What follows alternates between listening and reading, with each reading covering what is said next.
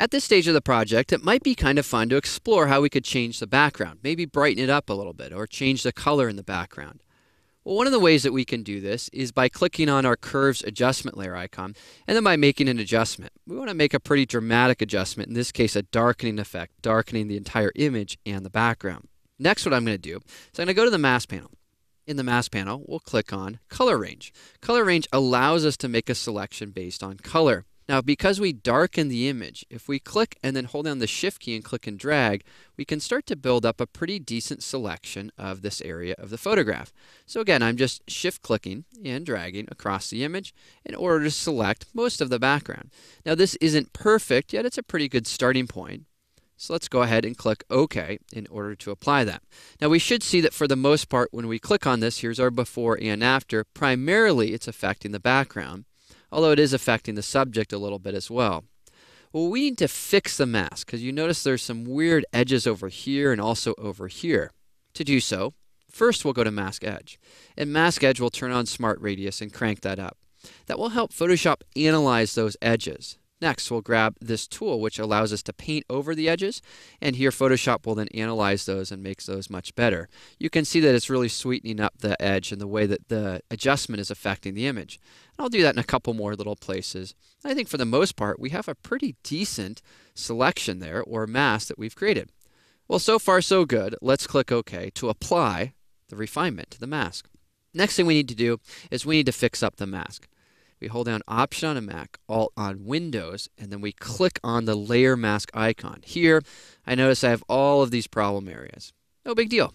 Grab your brush tool, go ahead and choose black as a foreground color, and then just start to paint away the areas where it's created a selection or where there's white in the black area of the mask. And as long as we paint relatively carefully, we can go ahead and fix this up so that this area won't be affected at all by this particular adjustment.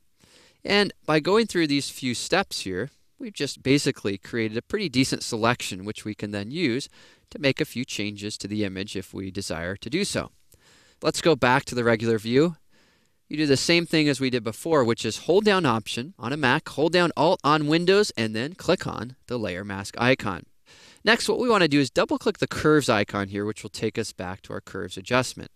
Now, in my case, I don't want to darken the background, but maybe I want to brighten it up. Or perhaps I want to go into one of the channels. Maybe I could make that background a little bit more cyan, add a bit of color into the background while I'm brightening it up. Now again, this is a bit of a subtle adjustment here, yet it's kind of a fun adjustment, adding that vibrant color in the background. Here's before and then after. To mix colors, we could go into the other channels and experiment with the different types of colors that we have here, and we could come up with an interesting color combo there. Now what's great about this is if we don't like this, we'll just lower the opacity you can diminish it as we can do with all of our different types of adjustments.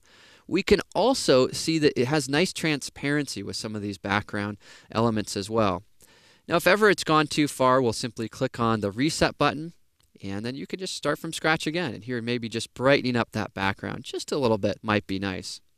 Okay, well, so far so good. I'm liking the bright background. We could even go to a white background for that matter. And you can really see how you can change that. Then it can change the overall look and feel of your image. And then maybe I'll just add a hint of color in the background as well, just to add to the overall look and feel of this image. All right, now is this adjustment essential to the overall project? Not necessarily, but it's kind of fun and it also helps us see how we can start to make changes to different areas of our image when needed.